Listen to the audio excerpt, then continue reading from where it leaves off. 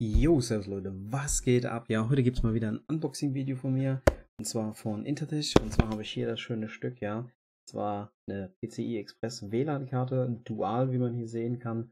Und was die Karte so hält, ja, was sie verspricht, was sie denn kostet und ähm, ja, beziehungsweise das Unboxing. Da würde ich sagen, bleibt einfach dran nach dem Intro und dann sehen wir uns gleich wieder. Bis dann, ciao. Jo, da gucken wir uns das gute Ding doch mal an hier, ja. Also, wir haben eine, jo, eine schöne Verpackung. Hm. Ähm, was kann ich auf jeden Fall schon mal gleich auf sehen? Wir haben hier zwei Antennen. Wir haben Dualband 2,4 GHz, 5 GHz Netz, ja. Wir haben den Realtek Chipsatz und es ist eine PCI Express Karte, ja. Wir haben AC, also 1300 Mbits, ja. Im, naja, sagen wir im Normalfall sollte es erreichen. Was haben wir sonst noch? Ja, ähm, WLAN verschlüsselt, Konfigurationsprogramm in Englisch, ähm, die normalen Standards. Wir haben hier das ABGNAC Wi-Fi 5 Netz, ja. Also es werden alle Standards, was aktuell so ist, wird unterstützt, ja. Ich denke, die meisten mittlerweile werden ja eine oder zumindest eine relativ neue Box zu Hause haben. Ich habe selbst eine Fritzbox. box und ähm, ja, da würde ich sagen, gucken wir uns das Ding, das Ding doch einfach mal an. Ähm, was kann ich euch dazu sagen? Das kostet, oder die Karte kostet aktuell 25 Euro ungefähr. Um, und äh, ja, für den Preis kann ich auf jeden Fall schon mal sagen, ist die nicht schlecht. Ja, wir haben hier das übliche. Dann haben wir hier schon eine Schraube dabei. Wir haben hier eine ganz kleine Oldschool. Ja, haben wir hier noch eine, eine CD. Und ähm, ich kann euch auf jeden Fall sagen, die Karte funktioniert ohne CD auch schon. Ähm, da werdet ihr aber im zweiten Teil davon, wenn wir die Karte testen, werdet ihr mehr davon sehen, weil ich hatte ein kleines Problem mit dem Verbinden. Ähm, ansonsten ergibt es natürlich Sinn, ja. Ich meine, die meisten haben zwar keine CD mehr, aber wenn äh, ja, das System offline ist und man baut eine Karte ein, ja, braucht man irgendwie eine Möglichkeit, um die Treiber zu installieren. Und das hat man hier für Linux und für Windows. Ähm, das passt soweit, ja. Ansonsten haben wir hier eine kurze Anleitung in Deutsch, was wir hier quasi haben, Sicherheitsblablabla, wie man sie einbaut und so weiter und so fort, was enthalten ist. Also nichts großartiges, weltbewegendes, aber es ist auf jeden Fall mehr als ausreichend. Ja. So, gucken wir noch hier rein. Also haben wir gar nichts mehr. Das können wir mal zur Seite legen. Dann gucken wir uns das gute Ding mal an. Also ich habe die Karte jetzt schon ein bisschen im Test gehabt hier, ja. Ähm, also ich kann auf jeden Fall schon mal sagen, so von der Verarbeitung her, also es sieht echt sauber aus, ja. Man kann sich das mal hier ein bisschen angucken. Also ich kann da jetzt eigentlich so nichts bemängeln. Also die sieht schön sauber, schön clean aus. Ähm, sieht auch relativ gut aus, muss ich sagen. Also es gibt ja andere Karten vom Aussehen her. Ich meine, wenn man die in den PC baut. Ähm, was wir hier tatsächlich noch haben, das ist, wir haben hier, ich weiß nicht, ob man es sieht richtig, haben wir hier so eine LED, eine blaue die scheint da hinten ein bisschen durch. Ähm, also ich muss sagen, die ist schon, äh, die hat schon Dampf, also die ist hell, ja. Also wenn man die Karte so einbaut, quasi im PC, das leuchtet schon blau nach unten weg, ja.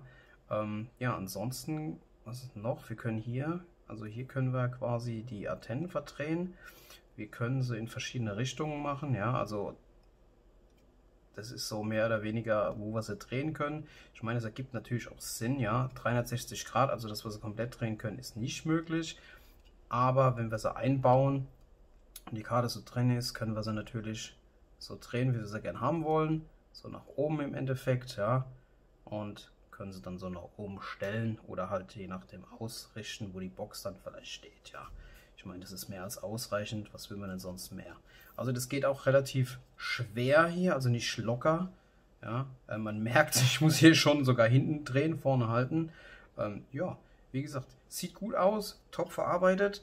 Ähm, ich kann eigentlich nichts Negatives bis auf den Punkt sagen. Das werdet ihr aber im zweiten Teil sehen, wegen der Verbindung. Da hatte ich ein bisschen Probleme mit meinem Main-PC, im Test-PC. Ähm, beziehungsweise das hat aber danach alles funktioniert und äh, die Werte sprechen auf jeden Fall auf für sich. Das einzige Doofe ist natürlich halt, dass das hier so lang ist, das heißt man kann es in ein kleines Gehäuse, kann man es leider nicht einbauen. Ähm, wenn man das einen kleinen PC-Pult machen möchte, vielleicht für, fürs, ähm, äh, für, keine Ahnung, für, für hier, fürs Wohnzimmer oder sonst irgendwas, ja.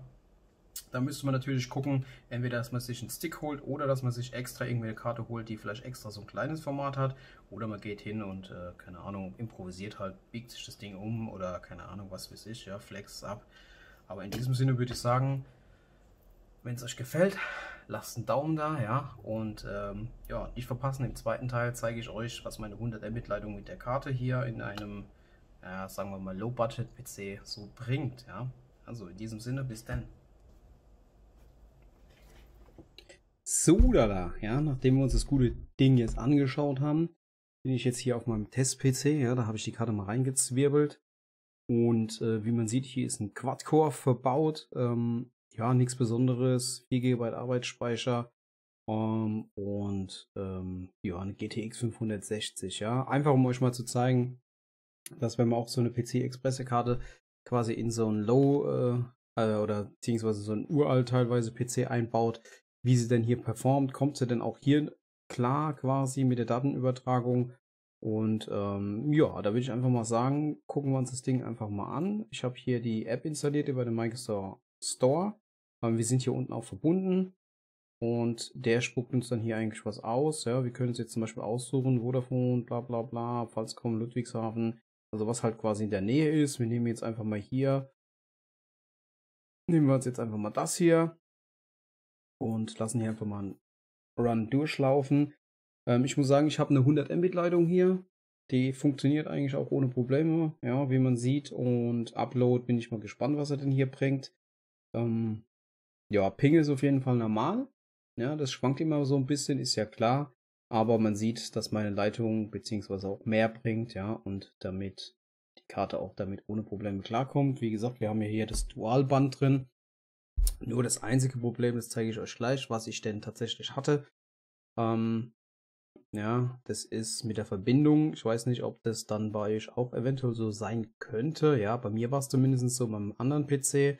Deswegen habe ich die als Testweise jetzt mal hier rüber gebaut. Ja, also wir haben hier ähm, hier habe ich verschiedene Runs gemacht, ja.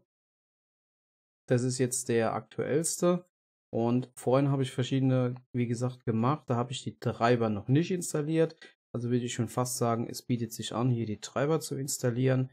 Die sind auf einer CD dabei. Da braucht ihr einfach bloß reinzugehen in den Ordner, Setup und so weiter und so fort. Ja, nichts Weltbewegendes.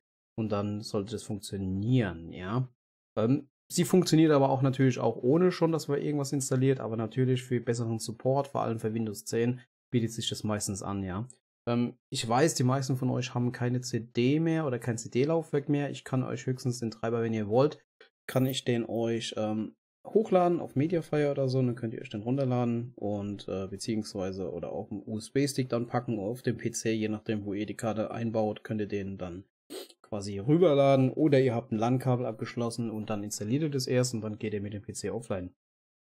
Also ich muss sagen, ich konnte mit der Karte jetzt hier keine Probleme äh, sehen, auch zwecks Spieler oder sonst irgendwas. Ja, das funktioniert wunderbar mittlerweile. Ähm, keine Verbindungsabbrüche soweit. Ja, das Einzige, wie gesagt, was ich hier nur feststellen kann, ist tatsächlich, ich musste hier reingehen und habe mich gewundert, warum mir das Netzwerk alles angezeigt wurde. Aber wenn ich auf Verbinden gegangen bin, also ich habe eine Fritzbox, ja, und dann kam dann jedes Mal, ähm, ja, kann zurzeit nicht verbunden werden. Ich habe gedacht, ja, okay.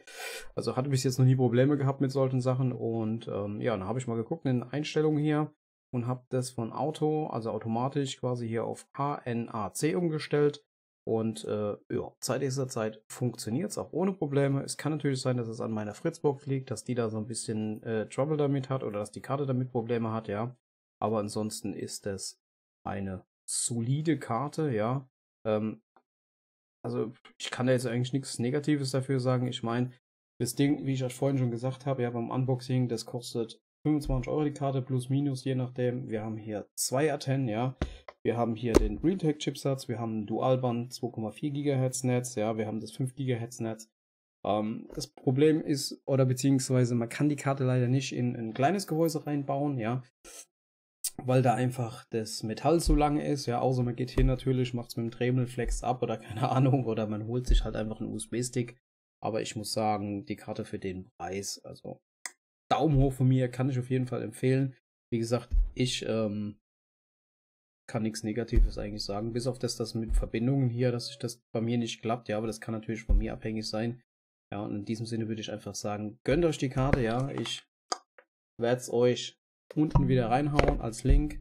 Und in diesem Sinne hoffe ich, euch hat das Video gefallen. Wisst ihr wie immer, ein Like da lassen, wenn ihr möchtet, ein Abo, ja, und in die Kommentare reinpacken, wenn ihr auch so eine Karte habt oder wenn ihr Interesse habt, so eine Karte, ja. Ihr könnt auch mal gucken, weil mittlerweile gibt es auch die DMG, ja, gibt es die 35er Variante bei Intertech. Die hat auch äh, noch Bluetooth an Bord und so weiter und so fort. Also wer was Gescheites sucht, ja, und nicht unbedingt hier 40, 50, 60 Euro ausgeben will, wie bei den anderen Karten, ja, der kann das hier gerne tun mit der Karte und der wird damit Sicherheit zufrieden sein. Ne? Also, bis dann, haut rein, ciao.